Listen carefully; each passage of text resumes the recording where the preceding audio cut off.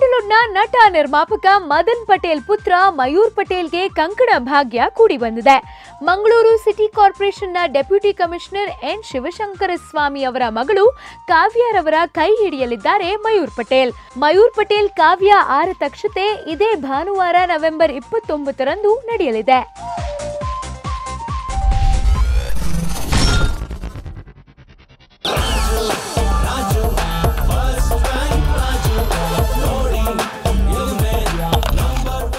ಮುಹೂರ್ತದ ದಿನವೇ ಟ್ರೇಲರ್ ಬಿಡುಗಡೆ ಮಾಡಿ ಎಲ್ಲರ ಗಮನ ಸೆಳೆದ ಫಸ್ಟ್ ರ್ಯಾಂಕ್ ರಾಜು ಸಿನಿಮಾ ಈ ವಾರ ಬಿಡುಗಡೆ ಆಗ್ತಿದೆ ವಿದ್ಯೆ ಹಂಡ್ರೆಡ್ ಪರ್ಸೆಂಟ್, ಬುದ್ಧಿ ಜೀರೋ ಪರ್ಸೆಂಟ್ ಎನ್ನುವ ಅಡಿಬರಹದೊಂದಿಗೆ ನಿರ್ಮಾಣವಾಗಿರುವ ಚಿತ್ರ ಫಸ್ಟ್ ರ್ಯಾಂಕ್ ರಾಜು.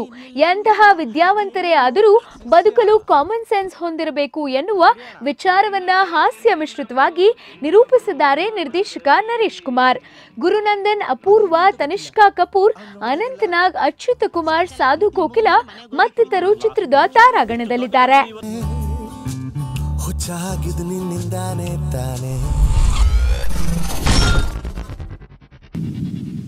ಕ್ಯಾಮ್ರಾ.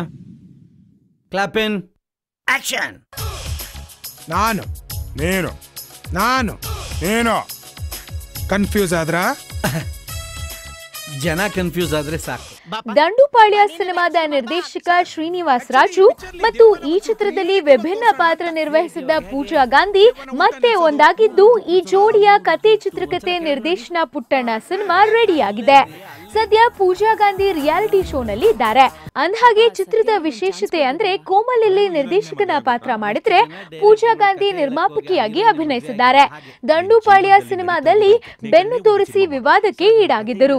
ಈ ಸಿನಿಮಾದಲ್ಲಿಯ ಪೂಜಾ ಪಾತ್ರವು ಕನ್ನಡದ ನಿರ್ಮಾಪಕರೊಬ್ಬರ ಪಾತ್ರವಂತೆ. ಹೀಗಾಗಿ ಸಾಕಷ್ಟು ಕುತೂಹಲ ಮೂಡಿಸಿದೆ. ಟೈಮ್ ಸರಿ ಇರೋದು ಕೆ ಸರ್.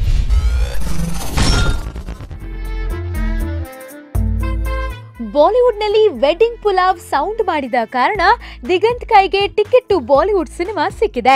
ಜೊತೆಗೆ ಸ್ಯಾಂಡಲ್ವುಡ್ನಲ್ಲೂ ಡಿಸೆಂಬರ್ ತಿಂಗಳು ಫುಲ್ ದಿಗಂತ್ಮಯ. ಯಾಕಂದ್ರೆ ದಿಗಂತ್ ಅಭಿನಯದ ಶಾರ್ಪ್ ಶೂಟರ್ ಚಿತ್ರ ಡಿಸೆಂಬರ್ ಹನ್ನೊಂದರಂದು ರಿಲೀಸ್ ಆಗ್ತಿದೆ. ಲಾಂಗ್ ಗ್ಯಾಪ್ ನಂತರ ದಿಗಂತ್ ಜೊತೆ ಐಂದ್ರಿತಾರೆ ಈ ಚಿತ್ರದಲ್ಲಿ ಹೆಜ್ಜೆ ಹಾಕಿದ್ದಾರೆ. ಚಿತ್ರ ಸಾಹಿತಿ ಗೌಸ್ ಫೀರ್ ಆಕ್ಷನ್ ಕಟ್ ಹೇಳಿದ್ದಾರೆ. ಇನ್ನು ಡಿಸೆಂಬರ್ ನಾಲ್ಕರಂದು ದಿಗಂತ್ ಕೃತಿ ಕರ್ಬಂದ ಅಭಿನಯದ ಮಿಂಚಾಗಿ ನೀನು ಬರಲು ಸಿನಿಮಾ ಕೂಡ ತೆರೆ ಕಾಣ್ತಿದೆ. ಈ ಎರಡೂ ಚಿತ್ರಗಳ ನಂತರ ಡಿಸೆಂಬರ್ ಕೊನೆಯ ವಾರದ ಹೊತ್ತಿಗೆ ದಿಗಂತ್ ರಾಗಿಣಿ ಅಭಿನಯದ ಪರಪಂಚ ರಿಲೀಸ್ ಆಗುವ ಸಾಧ್ಯತೆ ಇದೆ. ಇನ್ಮೇಲಿಂದನಾದರೂ ದಿಗಂತ್ಗೆ ಶುಕ್ರ ದೆಸೆ ಶುರುವಾಗುತ್ತಾ ಕಾದು ನೋಡಬೇಕು.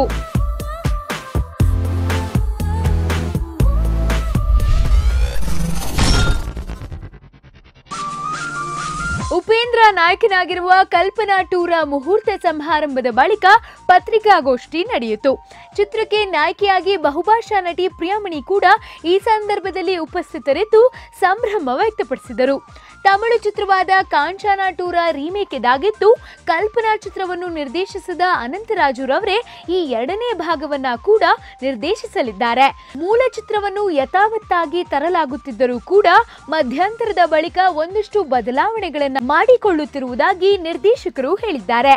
ಅಲ್ಲದೆ, ಕನ್ನಡದಲ್ಲಿ ಇಲ್ಲಿನ ನೇಟಿವಿಟಿಗೆ ತಕ್ಕಂತೆ ಬದಲಾಯಿಸಿಕೊಂಡು ಒಂದಷ್ಟು ದಿನಗಳ ಕಥೆ ಎಂಬಂತೆ ತೋರಿಸಲಾಗುತ್ತಿದೆ ಎಂದು ಅನಂತರಾಜು ಅವರು ಹೇಳಿಕೊಂಡಿದ್ದಾರೆ.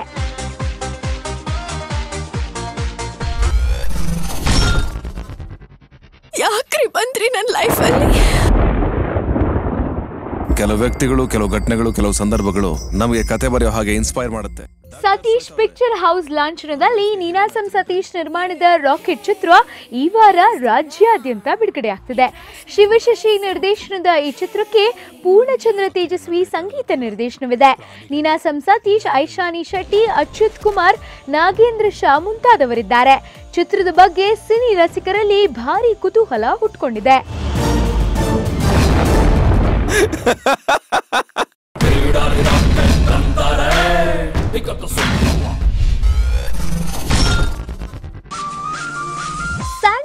ಎವರ್ಗ್ರೀನ್ ನಟ ಅನಂತ್ ನಾಗ್ ಅವರು ತಮ್ಮ ಅಭಿಮಾನಿಗಳಲ್ಲಿ ಕ್ಷಮೆ ಯಾಚಿಸಿದ್ದಾರೆ. ಯಾಕಂತೀರಾ? ಯಾಕಂದ್ರೆ ಪ್ಲಸ್ ಚಿತ್ರದ ಬಗ್ಗೆ ಅಭಿಮಾನಿಗಳು ನನ್ನ ಹೊಸ ಸ್ಟೈಲಿಶ್ ಲುಕ್ ನೋಡಿ ಭಾರಿ ಭರವಸೆಯನ್ನ ಇಟ್ಕೊಂಡು ಸಿನಿಮಾ ನೋಡಲು ಥಿಯೇಟರ್ಗೆ ನುಗ್ಗಿದರು. ಆದಾಗ್ಯೂ, ಪ್ಲಸ್ ಸಿನಿಮಾ ಜನರ ನಿರೀಕ್ಷೆಗೆ ಮೀರಿ ಸೋತಿದ್ದು ಬೇಸರದ ಸಂಗತಿ.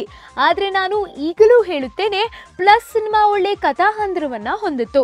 ಆದರೆ ಚಿತ್ರದ ಎಡಿಟಿಂಗ್ ಟೇಬಲ್ನಲ್ಲಿ ಎಲ್ಲೋ ಮಿಸ್ ಹೊಡೆದಿದೆ ಎಂದು ನನಗನಿಸಿದೆ ಎಂದು ಅನಂತನಾಗ್ ನುಡಿಯುತ್ತಾರೆ.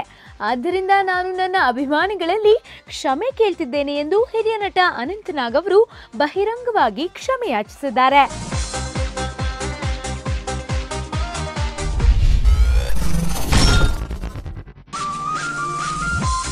ನಟ ಉಗ್ರಂ ಶ್ರೀಮುರಳಿ ಅವರ ಈ ವರ್ಷದ ಬಹುನಿರೀಕ್ಷಿತ ರಥಾವರ ಚಿತ್ರದಲ್ಲಿ ಖಳನಟ ರವಿಶಂಕರ್ ಮಾತ್ರವಲ್ಲದೆ ಇನ್ನೊಬ್ಬ ಖ್ಯಾತ ಖಳನಟ ಕೂಡ ಮಿಂಚಿದ್ದಾರೆ. ಹಲವಾರು ಸಿನಿಮಾಗಳಲ್ಲಿ ಖಳನಟನಾಗಿ ಮಿಂಚಿರುವ ಭಜರಂಗಿ ಲೋಕಿ ನಟ ಶ್ರೀಮುರಳಿ ಅವರ ರಥಾವರದಲ್ಲೂ ಪ್ರಮುಖ ಪಾತ್ರ ವಹಿಸುತ್ತಿದ್ದು, ಅದರಲ್ಲೂ ಮಂಗಳಮುಖಿಯ ಪಾತ್ರದಲ್ಲಿ ಮಿಂಚಿದ್ದಾರೆ. ಇದೇ ಮೊದಲ ಬಾರಿಗೆ ಖಳನಟ ಲೋಕಿ ಅವರು ಮಂಗಳಮುಖಿಯ ಪಾತ್ರದಲ್ಲಿ ಮಿಂಚಿದ್ದು, ತಮ್ಮ ಪಾತ್ರ ಮಾಡಲು ತುಂಬಾ ಸವಾಲುಗಳನ್ನ ಎದುರಿಸಿದ್ದಾರಂತೆ.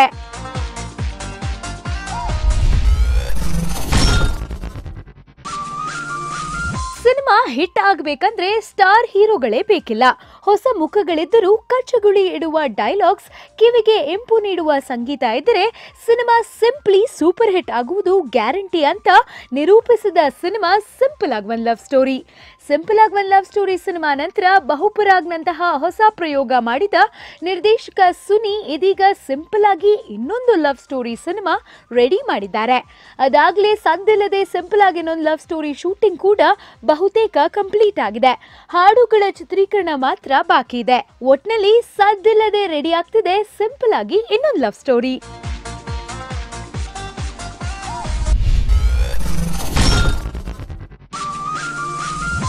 ಪವನ್ ಒಡಿಯಾರ್ ನಿರ್ದೇಶನದ ನಟರಾಜ ಸರ್ವಿಸ್ ಸಿನಿಮಾದ ಚಿತ್ರೀಕರಣ ಭರದಿಂದ ಸಾಗುತ್ತಿದೆ. ಪುನೀತ್ ರಾಜ್ಕುಮಾರ್ ಅರ್ಪಿಸುತ್ತಿರುವ ಈ ಸಿನಿಮಾದಲ್ಲಿ ಶರಣ್ ನಾಯಕ ನಟನಾಗಿ ಅಭಿನಯಿಸುತ್ತಿದ್ದು ಮಯೂರಿ ನಾಯಕ ನಟಿ. ಎನ್ ಎಸ್ ರಾಜ್ಕುಮಾರ್ ನಿರ್ಮಿಸುತ್ತಿರುವ ಈ ಸಿನಿಮಾದ ಹಾಡೊಂದರ ಚಿತ್ರೀಕರಣ ಬೆಂಗಳೂರಿನಲ್ಲಿ ಸಂಪೂರ್ಣಗೊಂಡಿದೆ. ಚಿತ್ರತಂಡದವರ ಆಸಕ್ತಿಯನ್ನ ಕೆರಳಿಸಲು ಹಾಡಿನ ಚಿತ್ರೀಕರಣ ಆರಂಭಿಸಿದೆವು. ಇದು ಪಕ್ಕ ಟಪ್ಪಾಂಗುಚಿ ಹಾಡು. ಇದನ್ನು ನಾನೇ ಬರೆದಿದ್ದೇನೆ ಎಂದು ಚಿತ್ರದ ಮೊದಲ ಶಾಟ್ ಬಗ್ಗೆ ವಿವರಿಸುತ್ತಾರೆ ನಿರ್ದೇಶಕ ಪವನ್ ಒಡ್ಯಾರ್.